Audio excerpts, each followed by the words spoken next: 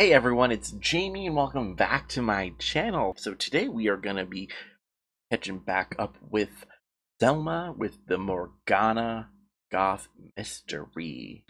So yeah, we come right back into the mystery and I found that both um Selma and Satan were just watching their daughter sleep, which is kind of cute but a little creepy. So the next step in the Morgana Goth Mystery is to go to this here, this um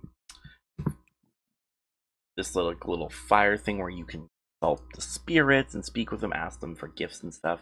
While everyone is going to sleep, because it is late, Selma is going to go down here and she is going to go do that. If you remember last time, she was possessed. Um, and now she is unpossessed and she is like, ooh, I need to get to the bottom of this before things turn out badly. Things turn out badly. Things turn out badly.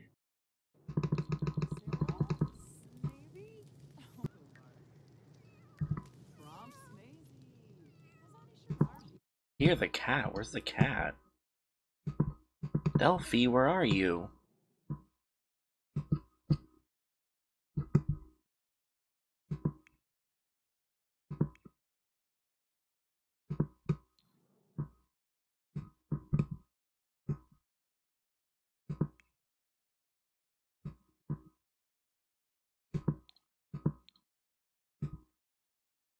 There's Delphi. Oh, she's like our little familiar right now. Oh, Delphi's such a good cat. She's very loud.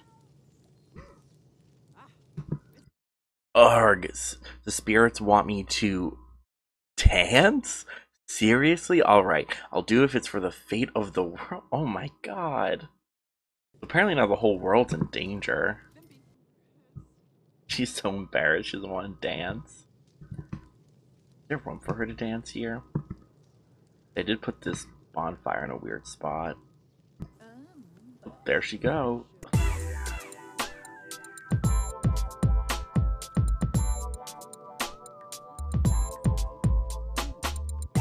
I think it's gonna be more like ritualistic dancing, but that's fine.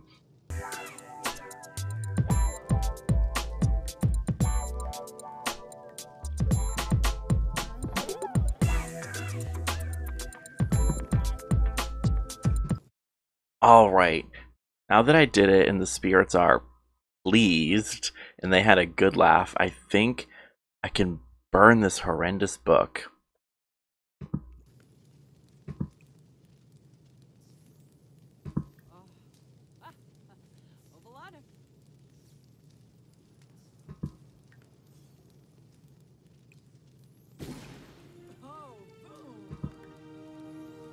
I feel like burning books is never a good idea.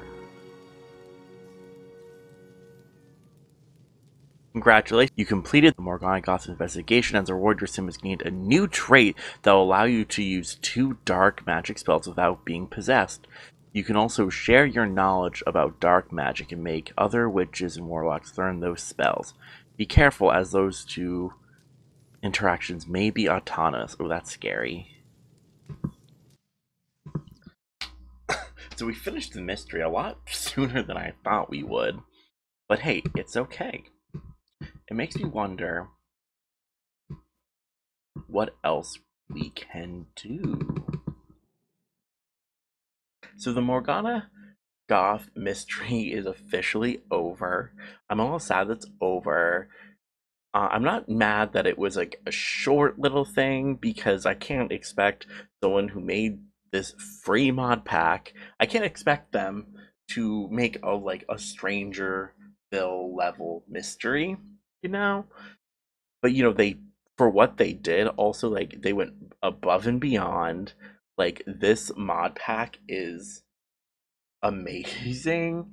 Like even if we get witches in the Sims, I have a feeling I will still be using this pack because like it is just so much fun. Um, with that saying, though, EA, I still want you to make a pack for witches uh, because, you know, as great as this pack is, I know whatever EA will do will be even more immersive, and hopefully they will do maybe a tr- like if they're gonna do a mystery or some kind of uh, aspiration that comes with it.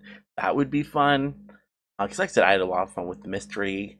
As much as I wish it was longer, I can't be mad that it was short because, like, like I said, they made this for free on their own time and did not charge us a dime. So, like,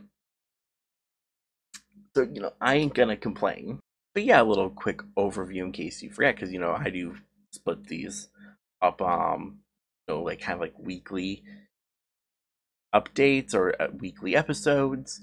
That would be so it begins off with Selma realizing there's something up with this statue of Morgana Goth they have.